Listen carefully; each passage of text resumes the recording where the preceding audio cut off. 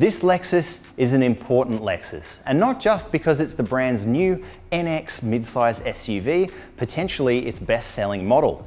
Nope, this one is important because it's a plug-in hybrid, a first ever for Lexus, and as a result, the most expensive NX you can buy.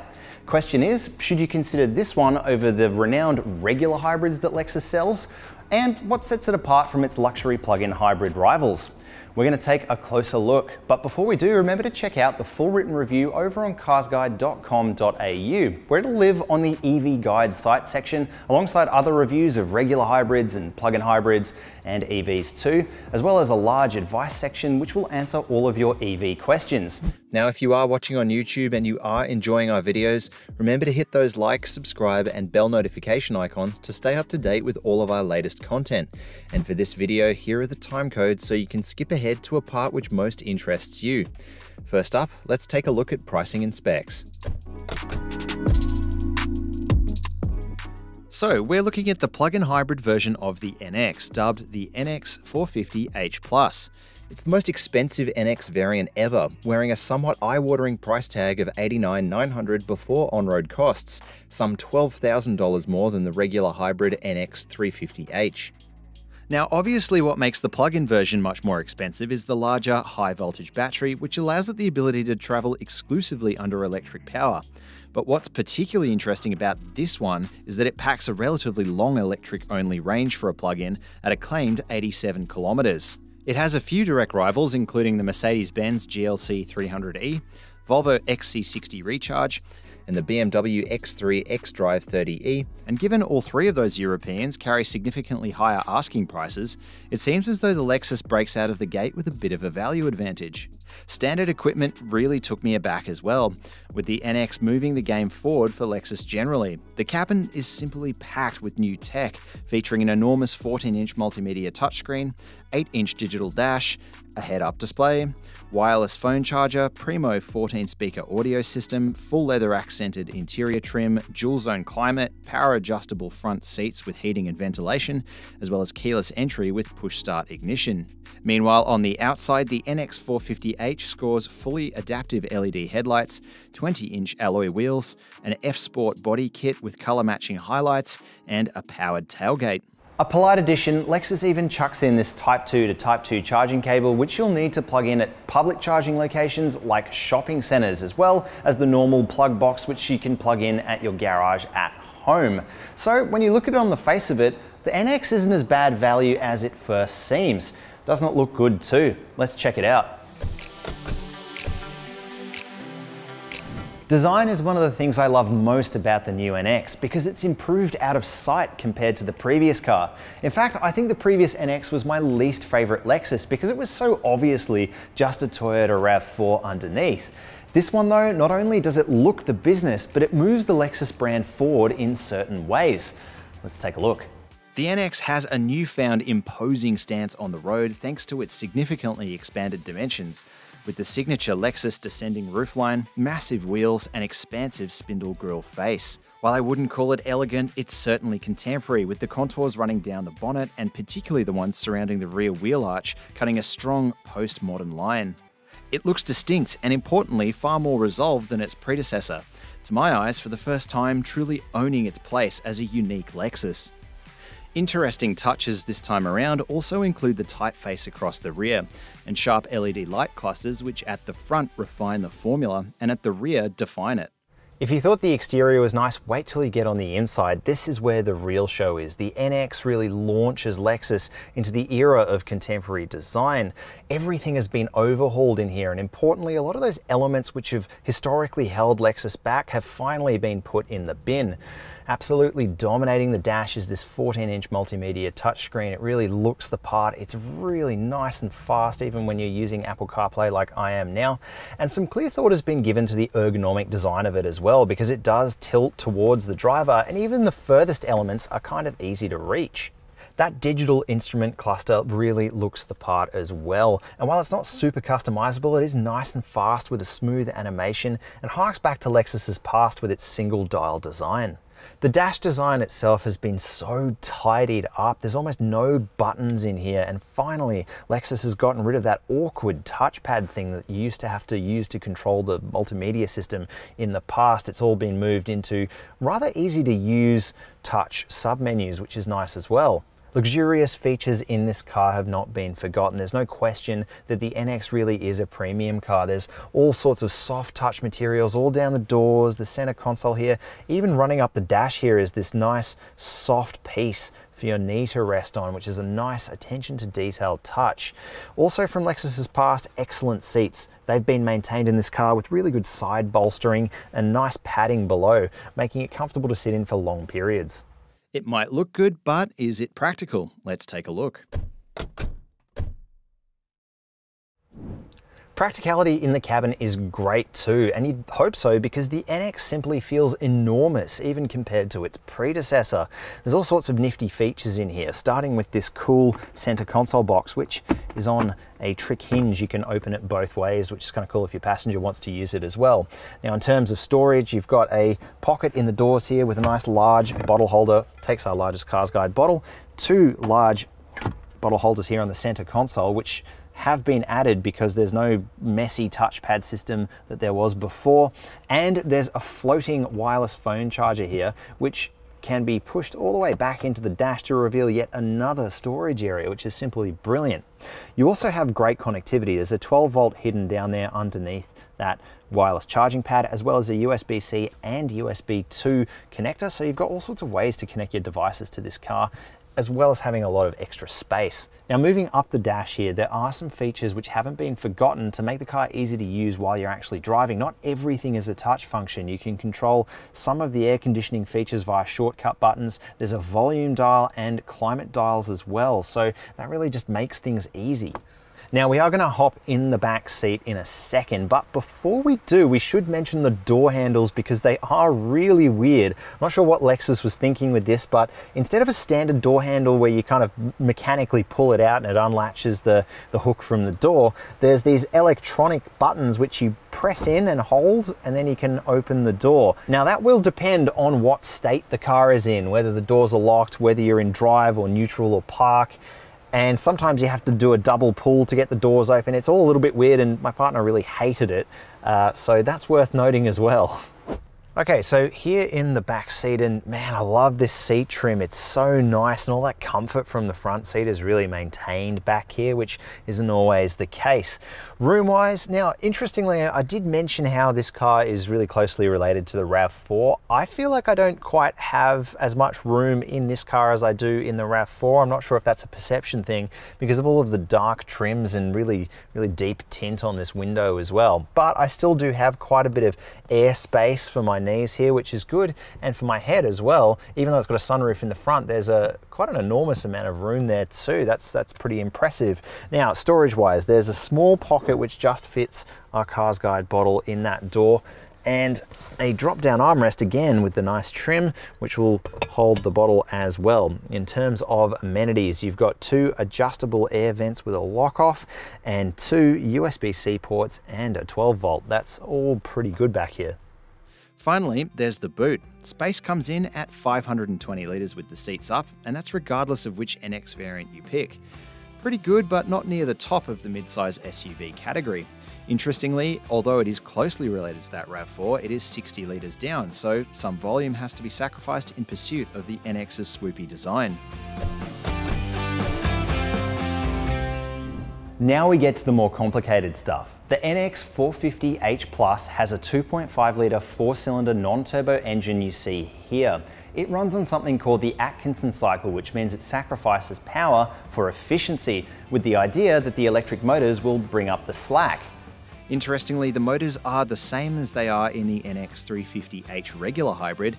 The difference with this plug-in version is the higher voltage battery, which lets them drive the wheels without the combustion engine's help at up to 130 kilometers an hour and for up to 87 kilometers, although that is to the NEDC rather than more strict WLTP driving cycle. Together with the engine, the system can produce up to 227 kilowatts and will allow the NX450H Plus to sprint from 0 to 100 kilometers an hour in just 6.3 seconds. Not bad for a car which has a curb weight of over 2 tons.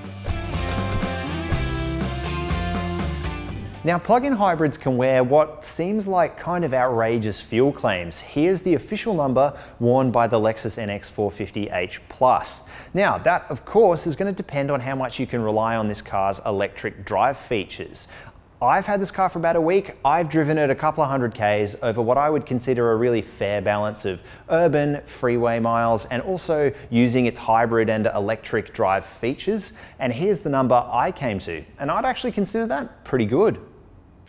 The NX has a 55 litre fuel tank regardless of variant, meaning in this plug in hybrid version, you can theoretically get over thousand kilometres between fills. A word of warning, however. If you pick a plug-in hybrid, you really have to be willing to charge it up, otherwise you'll stress the engine out dragging around a big battery, and you could well end up with a fuel number worse than if you simply bought a combustion model. Thankfully, this plug-in hybrid has great charging specs.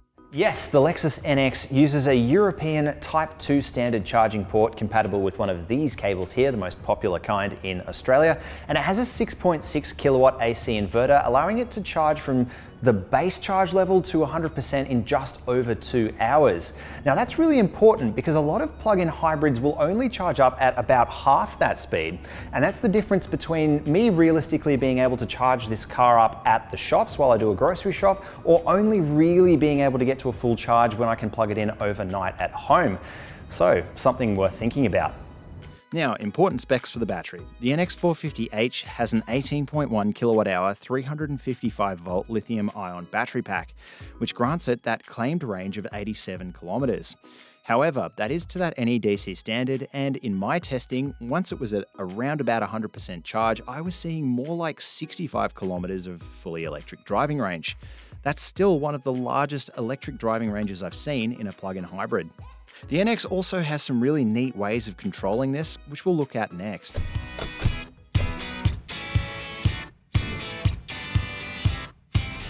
Okay, so the first thing you really notice about this new NX is how big it is. It really does feel almost as though I'm driving the previous generation RX, the next Lexus up. It really does feel wide and big and yet I feel like I have really good visibility out of this car as well. I feel like I'm perched quite high off the road and can kind of peer down here through this nice windscreen. I've got nice mirror coverage out the sides, and even though that rear window is a little smaller due to the sort of coupé design of it, I don't feel like it creates too much of a blind spot.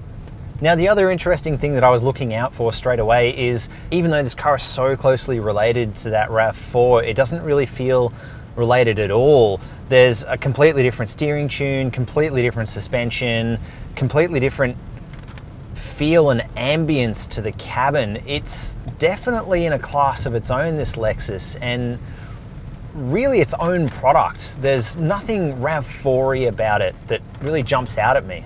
I think a lot of that is down into the differences to the tune of various things in this car, and one of them is the steering, it's really light and kind of whimsical in the RAV4 and makes that car feel lighter than it is and, and easier to steer around town. But in this Lexus, it's kind of artificially a bit heavier than you might expect, even regardless of which drive mode you pick. And that does give it a more luxurious feel, but it's also not quite as easy to kind of steer around town. It is a bit heavier than you'd expect from the RAV4, which is interesting. Now what separates this Lexus from other Lexus and Toyota hybrids is the high voltage battery pack and that lets the electric motors on both the front and rear axle have a full range of motion up to 135 k's thereabouts. And that's great because it means you can legitimately use it as an EV pretty much all week if you've got somewhere to charge it up. You're not getting to 85 kilometers on the freeway and then the engine kicks in to support it.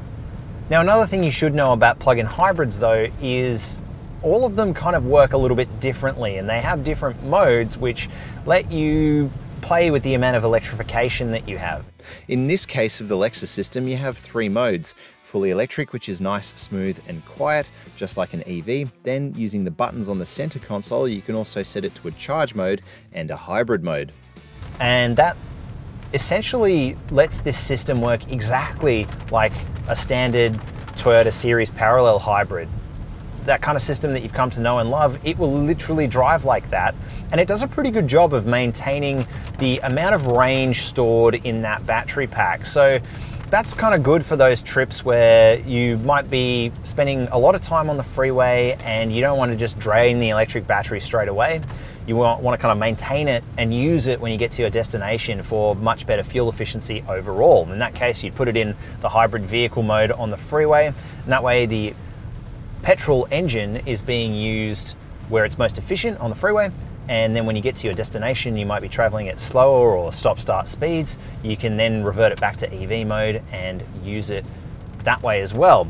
It also helps if you don't have a place you can charge up easily for whatever reason, but I wouldn't drive it like that all of the time just because you're really not making the most of it. If you want to make the most of it and get the great fuel efficiency that is on offer from this car, you really do need to utilize that EV driving mode where you can. Now the other interesting mode that this car has is a charge up mode. So if again you don't have somewhere to charge it up and maybe you've just filled up with particularly cheap fuel, you can actually just run the engine and drive this car essentially as a combustion vehicle with a little bit of electrical assistance. And when the engine's idling, you're stuck at traffic or something like that, it will actually just charge the battery up. Um, but it is just a, a useful kind of customizable feature to have. And not every plug-in hybrid has that. In fact, not every plug-in hybrid is as smooth between the drive components either. That's something that Toyota has proven, and Lexus by extension, has proven that they are masters of. The hybrid drive is so sleek. There's a lot of the time where, unless I'm looking at the monitor, I actually don't know when the engine is on. And that's pretty impressive because it's a hard thing to master, especially when you start to include things like transmissions and even though this car has a continuously variable transmission, which sounds like a bit of a, a, dirty word when it comes to luxury cars, it really isn't. It's better than a cheap dual clutch, which has that glitchy action. In terms of electrification, there is one thing this car doesn't seem to have which I would like to see, and that's that you can't control the regen braking. It is quite a mild regen braking tune, so you're not really recouping as much energy as I think these motors are capable of recouping when you're in that kind of stop start traffic scenario. And that does mean when you are driving it as an EV, it's not the most efficient EV that it could be. And that's just a little bit of a shame, which brings us into some of the other downsides of this car. I already mentioned the steering tune is a bit heavier than the RAV4, which might be a turn off for some people, but I think it still does have quite a nice natural progression to it, so it doesn't feel kind of artificial and nasty. One of the biggest downsides for me, though, is perhaps the suspension tune, which I was a little bit disappointed by. It's not to say it's a bad suspension tune, and this top spec car does have the supposedly more fancy active setup, eh, which changes with the drive modes.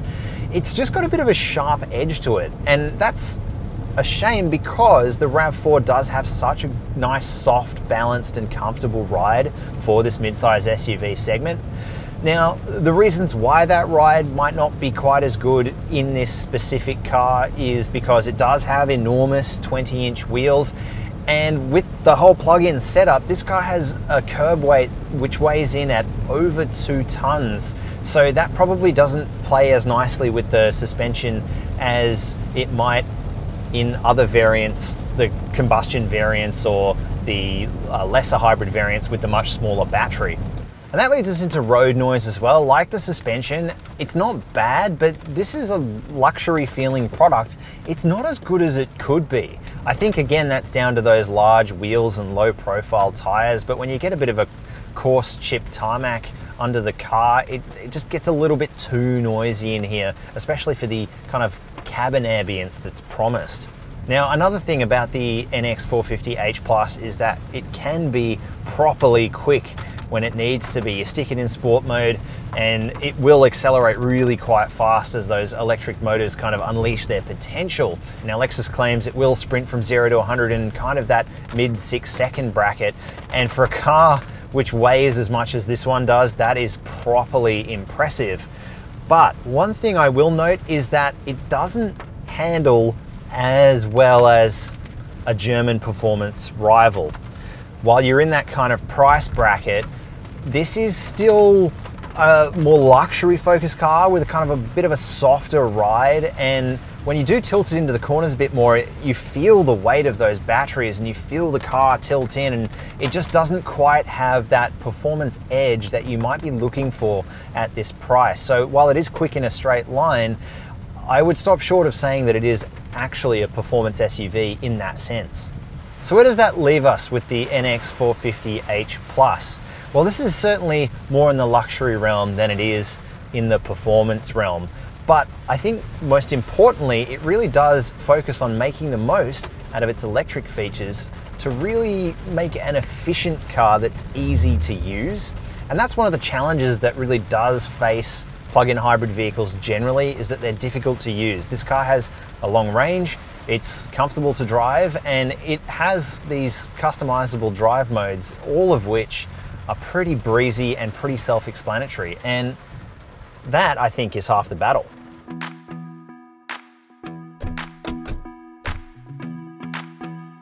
In terms of active safety, the NX has everything thrown at it and a little bit more, including freeway speed auto emergency braking with a new junction assist, lane keep assist with lane departure warning, blind spot monitoring with rear cross traffic alert, adaptive cruise control, and road sign assist. If you want to read a little bit more about these features as well as the array of 10 airbags this car has, remember to check out the full written review on carsguide.com.au. At the time of filming, the new generation NX was yet to be rated by ANCAP. Lexus currently offers an industry standard 5 year and unlimited kilometre warranty promise for the car, and for the battery, there's a separate industry leading 10 year and unlimited kilometre warranty. Service costs are very competitive for the premium space, set out at $495 for the first three years. It's flat across the NX range and as such seems like pretty good value for this plug-in hybrid with its more complicated drive components. Specifically for the 450H Plus, Lexus also throws in a complimentary home charger installation, as well as membership to its premium ownership program, which includes something called Lexus On Demand, which lets owners swap into another vehicle for up to eight days at a time. The NX450H Plus is a leading example for plug-in hybrids because it takes a lot to switch to this technology, so you need all the things that this car gets right, and that includes a long range, the fast charging, and the totally customizable hybrid drivetrain, which really lets you make the most of its electric features. What remains to be seen though is if there's a market for a plug-in hybrid like this when Lexus already offers quite a good parallel hybrid. Do you think there's space for it? Tell us what you think and remember, read the full written review over on carsguide.com.au.